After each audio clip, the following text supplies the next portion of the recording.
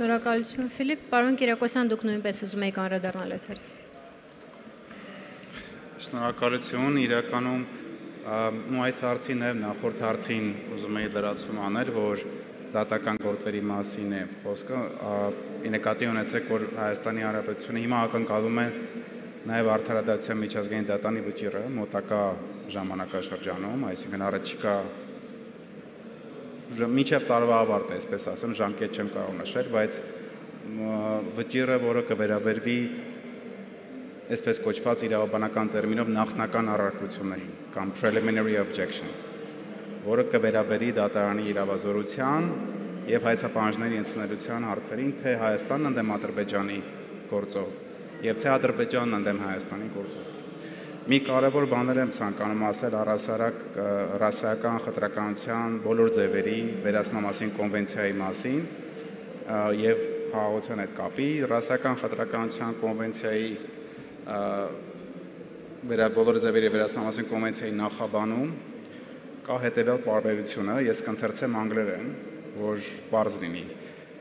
Reaffirming that discrimination between human beings on the grounds of race, color, or ethnic origin is an obstacle to friendly and peaceful relations among nations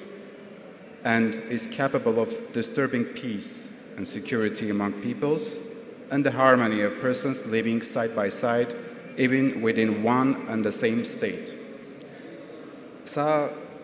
կոնվենցիայի նախաբանն է, որտեղ ֆիքսվում է կոնվենցիայի հիմնական նպատակները եւ նաեւ առարկային վերաբերող հարցեր։ Ու սա շատ կարեւոր հստակ ամրագրում է, որովհետև իրականում, ինչպես պարոն Խալֆայանը ասեց, ռասական խտրականությունը դա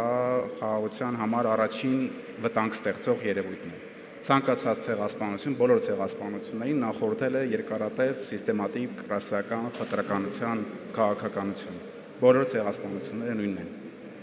Եվ այս տեսանկյունից ռասական խտրականության բոլոր ձևերի վերահսկման մասին կոնվենցիայի հիման վրա դատական գործընթացները առանցքային կարևորություն են ստանում։ Եվ մյուս կարևոր հա- շեշտադրում, որ կցանկանայի անել, որ այս գործերը ճիշտ եք նշում, որ իրենք ոչ միայն Լեռնային Ղարաբաղի հայերի մասին են, ոչ, իրենք բոլոր հայերի մասին են, բոլոր։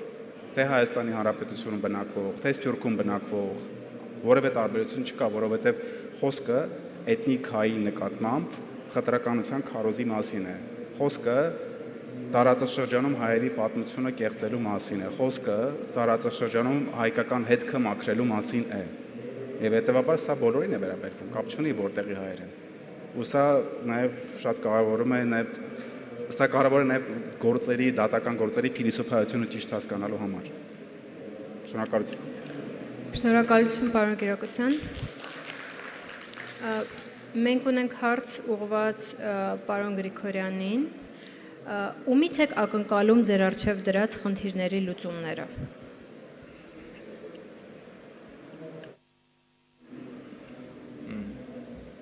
Արցախահայության